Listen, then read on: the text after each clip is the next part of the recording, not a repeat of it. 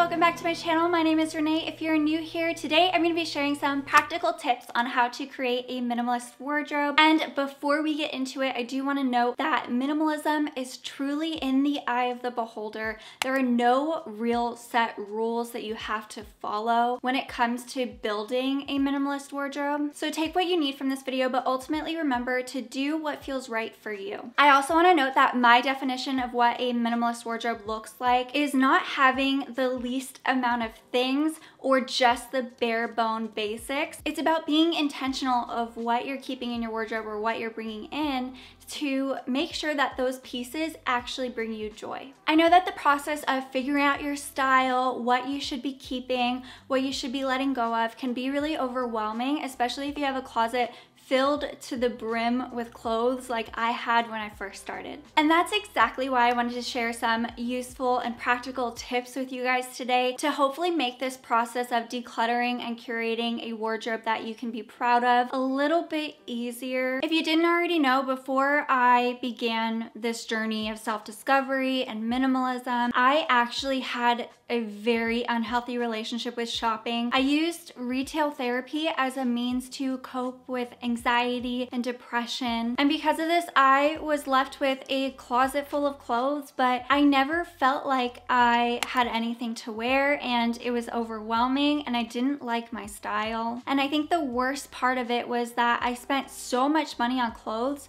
that I had to say no to a lot of fun experiences to hang out with friends and go out because I just couldn't afford it. If you enjoy videos on practical minimalism and intentional living, be sure to subscribe down below and give this video a thumbs up if you enjoy it. And now let's get right into my practical tips for creating a minimalist wardrobe.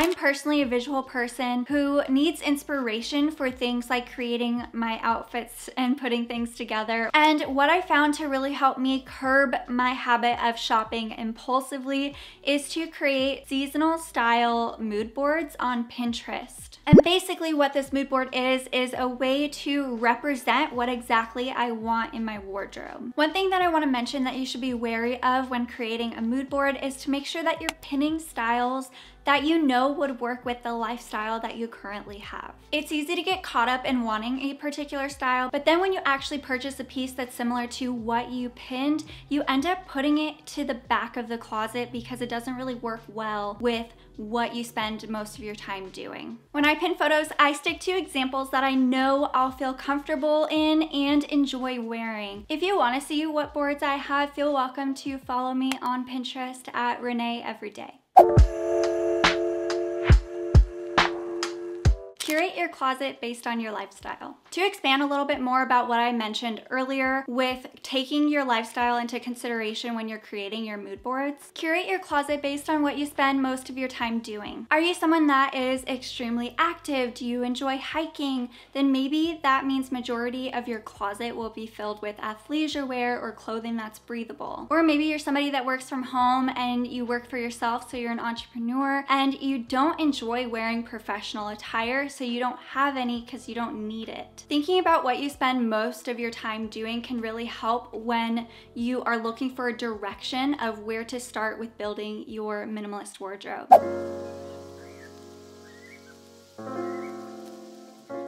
Decluttering and intentionally curating a wardrobe that you love is going to take some time, especially if you're trying to revamp your style completely from one to another. So don't feel like you have to have it all figured out tomorrow. When you start to put pressure on yourself, you might start purchasing items that aren't necessarily exactly what you want, but are similar to what you want.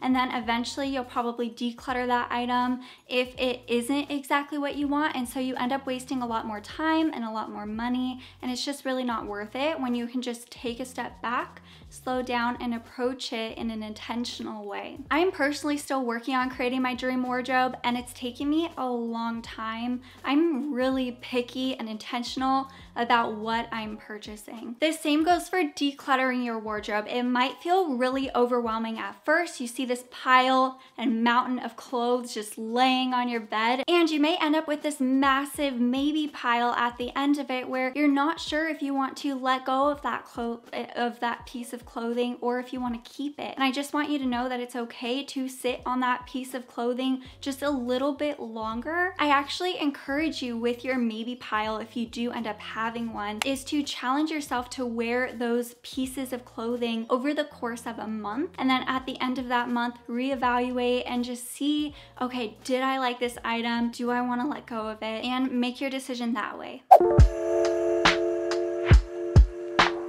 So if there are pieces that you feel like, okay, I need this to pull everything together and it's an essential piece, but I'm on a tight budget and the ones that I found are really expensive, maybe try looking secondhand for a piece that is similar. You can search online through Poshmark, Depop, and then my favorite is using ThredUp for shopping secondhand. I think you'll be surprised by how many pieces are actually high quality and in your price range. The second part is if you are wanting a specific item and it's not an essential and it can wait, then save up your money and buy exactly what you want. Invest in the piece that you want. Find peace with being patient until you can afford it.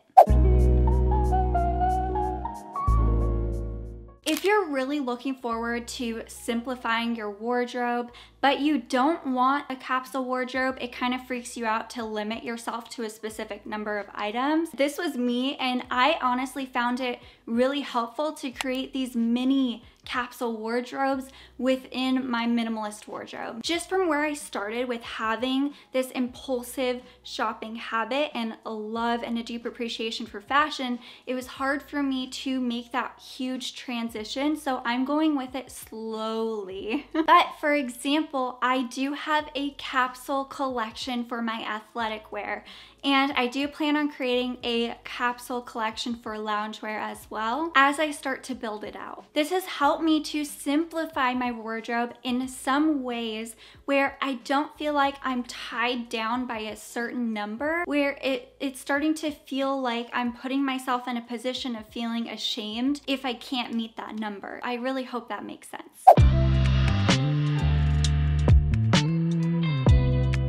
My two to one rule for statement pieces. Again, I do want to mention there are no rules when it comes to creating a minimalist wardrobe, but personally for me, I found it really useful to set some guidelines or some rules for myself. I really like to have some statement pieces to zhuzh up my wardrobe every now and then, and this is mainly just because I don't want just a plain, neutral, bare basics wardrobe. That's just my personality and my style type. So when I do find a statement piece that's a little bit more on the trendy side and I want to bring it into my wardrobe intentionally, I make sure that I can make two outfits at least with that one piece. So that way I don't have just a whole bunch of odd pieces that don't work well together.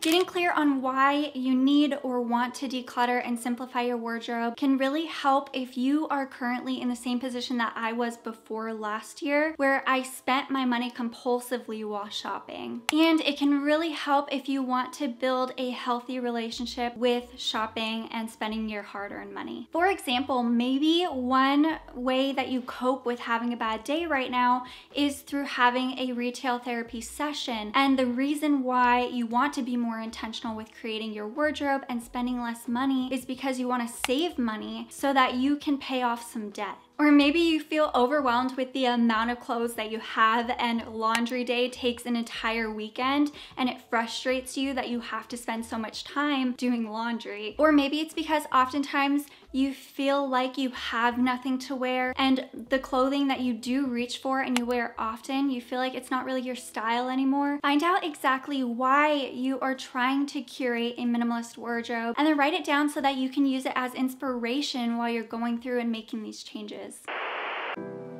I really hope that you enjoyed this video on my practical tips for how to create a minimalist wardrobe. And like I said at the beginning of this video, living a minimalist lifestyle is really in the eye of the beholder. And the root of it is to live your life with intention so that you can simplify where you need it most so that you can create a life that is more fulfilling to you. I think we can sometimes overcomplicate some things. So on my channel, I really want to help you guys understand that it's not this black and white thing, that there's a lot of gray area and it's really about doing what feels right for you. With that being said, be sure to hit the like button down below if you enjoyed this video. It really means a ton to me.